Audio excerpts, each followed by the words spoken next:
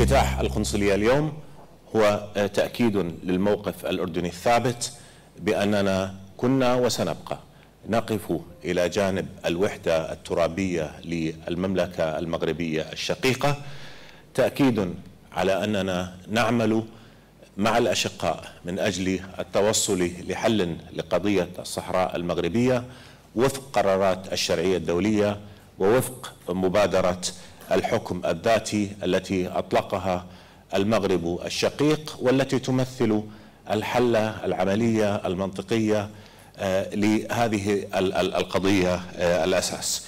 فنحن آه، في منطقتنا العربية بشكل عام نحتاج لأن نوحد جهودنا نحتاج لأن نركز على مواجهة ما نواجه من تحديات مشتركة وكلنا يريد أن نتجاوز التحديات وأن نتجاوز التوترات حتى نستطيع أن نخدم حق شعوبنا جميعا في الحياة الفضلى الحياة الكريمة. التعاون ما بين المملكتين ينطلق من توجيهات دائمة لصاحبي الجلالة.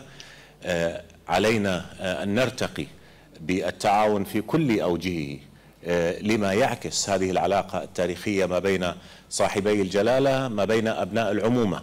ودائما عندما يتحدث جلالة الملك عبد الله الثاني حفظه الله عن المغرب الشقيق يتحدث عن العمل مع ابن عمه من أجل خدمة مصالحنا المشتركة كمملكتين شقيقتين ولكن أيضا من أجل خدمة قضايانا العربية. وللمملكتان دائما دور سباق في خدمة كل القضايا العربية وفي تعزيز العمل العربي المشترك. والوقت الآن يستدعي المزيد آه، من هذا التعاون والمزيد من التنسيق والمزيد من التضامن العربي في ضوء ما نواجه جميعا من تحديات كبيرة. آه، إذا آه، ما تعاوننا إزاء جهود حلها استطعنا أن نحقق الأمن والاستقرار وأن نبني البيئة التي تتيح التقدم باتجاه التنمية في جميع مجالاتها. التواصل والتنسيق آه، بين معالي أخي العزيز وبيني آه، تنفيذا لتوجيهات صاحبي الجلالة مستمر. نتحدث في كل القضايا على المستوى الثنائي كانت هنالك قمة أردنية مغربية في الرباط آه، العام الماضي.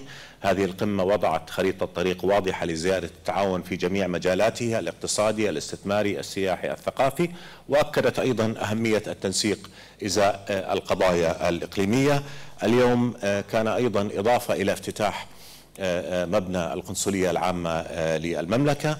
كان فرصة للحديث حول الخطوات التي يجب والتي نعمل على القيام بها من أجل ترجمة العلاقات الراسخة ما بين البلدين تعاونا مثمرا ملموسا ينعكس خيرا على بلدينا ويخدم مصالح مصالح المملكتين ويصب أيضا في خدمة المصالح العربية آه، بشكل عام، فتحدثنا عن زيادة التعاون آه، في جميع المجالات اقتصاديا، استثماريا، سياحيا، ثمة عديد اتفاقيات تم إنجازها ونأمل إن شاء الله أن توقع في أقرب فرصة ممكنة. وثمة اتفاقيات أخرى نعمل على آه، إنجازها.